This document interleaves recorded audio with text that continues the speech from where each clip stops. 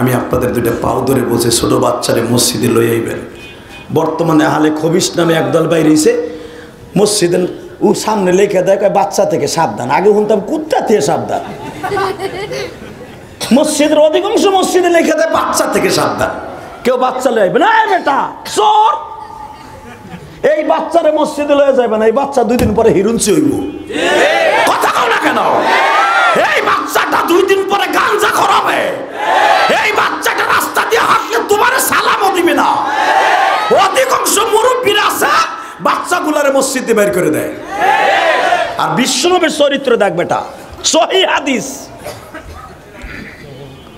পাতা, দুই পাতার বই, বোখারি নাম দিয়ে কেতকুলি নিয়ে ঘুরে আর কয় এইটা সহি হাদিস। যদি জিজ্ঞেস করি, আরবি এবার একটা পর দাঁত এরম দেখতে হয়ে যায়। এদিকে তাকাবেন, হাসবেন না খালি। বিশ্বনবী দেখেন কত বড় আমার নবী চরিত্রবান। নবী কত খেয়াল রাখে। ছোট্ট একটা বাচ্চা, হাজার হাজার সাহাবির ভিতরে খেয়াল রাখার দরকার আছে? নবী জিজ্ঞেস করলেন, ওবাদা, ও বাবু ওবাদা, তোমার ওবাদা কই? উবাদা বলে নবীজি, আবু বাদা বলে নবী গো। আমার বাচ্চা আপনার ডিস্টার্ব করে এই জন্য আমি আনি নাই। আমার বিশ্ব নবী বলেন, কি কাজটা করলাম? আমি যখন কোরআন তেলাবাদ করতাম, নতুন শরীয়ত আসলে আয়াতগুলো তোমাদের মস্ক করে মুখস্থ করাইতাম। আমি নবী পৃথিবীর শ্রেষ্ঠ কারি আমি নবী পৃথিবীর শ্রেষ্ঠ শিক্ষক কোরআন আগে আমার কাছে নাজেল হয়, আমি তোমাদের প্রথম মুস্ক করাই তারপরে মুখস্থ করাই। কারীদেরকে মুখস্থ করাই দেয় কারীরা আবার আমার মাদ্রাসায় পড়াইয়া সাপ্লাই দেয়। ও বাবা! পৃথিবীতে আমার নবী হলেন প্রথম শিক্ষক, প্রথম কারি, প্রথম ওস্তাদ, প্রথম প্রিন্সিপাল। আমার নবী পৃথিবীর প্রথম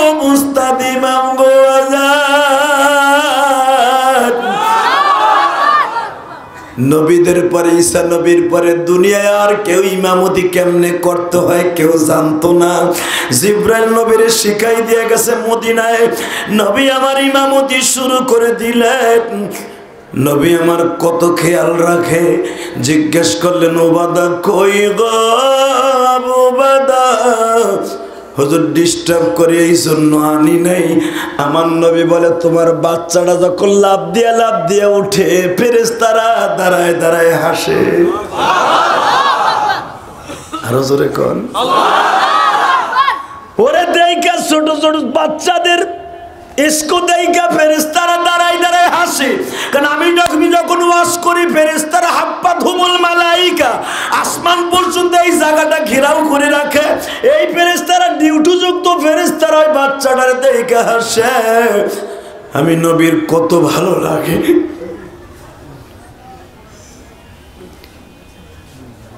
আমার অনেক ভালো লাগে। আজকে দেখতেছি ফেরেস তাদের মুখটা কালো। আজকে ফেরেস্তাদের মুখটা কালো দেখে ফেরেস্তার কোনো আনন্দ নাই, উৎফুল্ল নাই। তুমি ওকে আনো নাই কেন? যাও, ওকে নিয়ে আসো। বাজানরে ছোট বাচ্চাটারে বিশ্ব নবী আনতে পাঠাইলেন। পাশে আসছে, নবী তারে পাশে বসাইছে। নবী জিজ্ঞেস করেন, কে ফালে? কেমন আছো? আলহামদুলিল্লাহ এই বিয়ার রসুল্লাহ আমার আব্বারে কয়া দিয়েন, আমার আব্বা যেন আপনার সামনে যখন আসে, আমার জন্য রাইখে না আসে।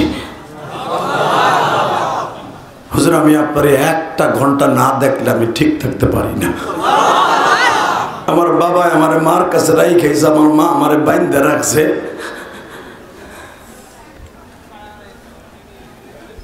আমি আপনার মুখে শুনছি যারা মা বাবার কথা শোনে না, ওরা মা বাবার সাথে মা বাবার ঠিক সন্তান না। যদি মা বাবার কথা ওভার ঠিক করা জায়েজ থাকতো, ওই ছোট বাচ্চায় কয়, আমি পাগলের মতো ছুটে আসতাম।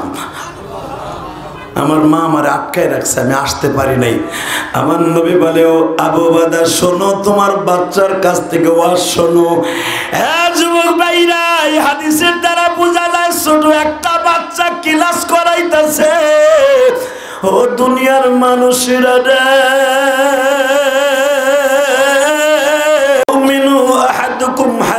أكون أحب إليه من والده وولده والناس أجمعين আমি নবীরে ভালোবাসবো না যত সময় পর্যন্ত তোমার মা বাবা, তোমার মা বাবা, তোমার ছেলে সন্তান, দুনিয়ার সব মানুষ টিকা এটা কামেল মোমিন হতে পারবে না। এখানে লাইন নফিনা বাজানরে এখানে বলা হয়েছে, তুমি কামেল মোমিন নয়। হ্যাঁ বসিলার বাইরা, ঢাকা মসিলার মোহাম্মদপুরের বাইরা কেরানীগঞ্জের বাইরা দুই ফোঁটা চোখের পানি দিয়ে দেখায় দাও। ছোট বাচ্চাটা নবীরে বলতেছে, যদি মা বাবার কথা আবার ঠিক করা যায় থাকতো, আমি আমার মা বাবার কাছ থেকে চলে আসতাম। নবী আপনি বলছেন, মা বাবার চাইতে বেশি ভালোবাসতে। আবার বলছেন, মা বাবার অ্যাকাউন্ট মা বাবার বর্দোয়া অ্যাকাউন্টে না থাকে। আজকে দেখবা বসিলা পুরা মোহাম্মদপুর, পুরা ঢাকার মধ্যে, সারা বাংলাদেশের মধ্যে বাজান অধিকাংশ ছেলে মেয়েরা মা বাবাকে ভালোবাসে না। মা বাবার কথা শোনে না। কথা বলো। আরও জোরে বলো। আমি তোমাদেরকে দুই মিনিট একটা ঘটনা শোনাই। আমার এলাকায় কাসিমিশা বজুর আমার এলাকায় এক ছেলে তার মায়ের থাপড়াইয়া উপরের তা নিচে নামাইছে। আমি শোনার পরে আমি চোখে পানি রাখতে পারিনি। আমি জিজ্ঞেস করলাম, মার অপরাধ কি? মার অপরাধ ছেলের জন্য, অর্থাৎ নাতির জন্য কমলা আনছে পোলায়। মা প্যারালাইসিস একটু রোগী হাঁটতে একটু কষ্ট হয়, লাড়ি দিয়ে হাঁটে। পোলার কমলা কেন মায়ে খাইল? মায়ের প্রথম টান দিয়ে নিজে ফেলছে।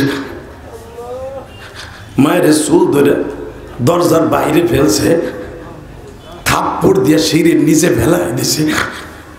তুই আমার পোলার কমলা দল্লিকা তোর বড় পোলায় দেয় না, তুই আমারটা দল্লিকা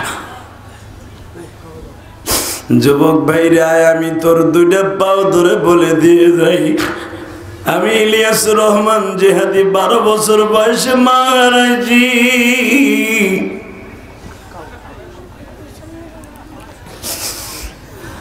বাংলাদেশের কত জায়গায় গেলাম, পৃথিবীর কত দেশে গেলাম গো বাবা। আল্লাহ এক দর্শনের উপরে দেশ সফর করার সুযোগ দান করছে আমাকে। হে আমার যুবক ভাইরা,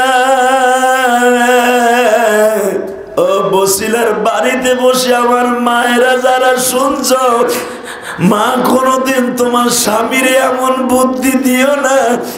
যার কারণে তোমার স্বামী তার মায়ের সাথে দুর্ব্যবহার করে গো মা। এই ছেলেটাকে লালন পালন করতে মায়ের জিব্বাটা বের হয়ে গেছে গো মা।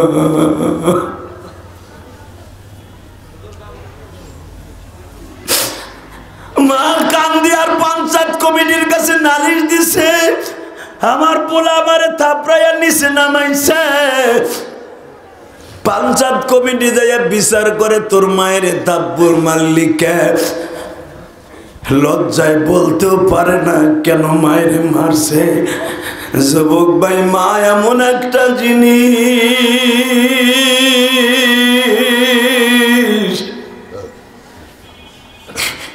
পৃথিবীতে একটা মাত্র দরদি পাইবা, যেই দরদির মতো দরদি আর কোথাও নাই। তুমি নবাবপুর চাকরি করো অথবা ইস্তামপুর তুমি চাকরি করো। সব বাজারে অথবা মোহাম্মদপুরে তোমার দোকান আছে। রাত এগারোটা, বারোটা বাইজা যায়, দোকান থেকে বাসায় যাও নাই। যাই দেখবা জানালার ফাঁক দিয়ে তাকায় আছে একজন দরদি, তার নাম হলো মা।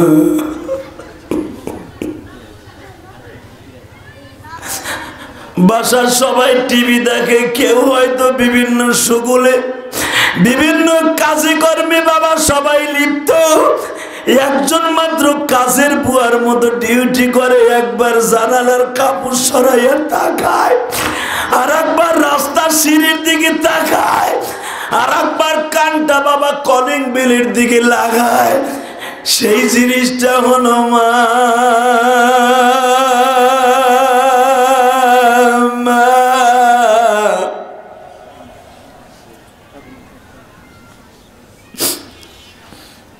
বিশ্বনবী এই জন্য আবু ওবাদাকে বললেন, দেখছ তোমার ছেলেটা কত সুন্দর মা বাবার খেদমতের জন্য হাদিস বলল। ভাইরা, আমি তোমাদেরকে ওই আট বছরের বাচ্চা উপাদার থেকে শিক্ষা অর্জন করতে বলি। এই জন্যই ছোট্ট কালে অল্প বয়সে ছেলেদেরকে মাদ্রাসায় পড়াবার দরকার আছে না নাই? এই জোরে কন জোরে কন।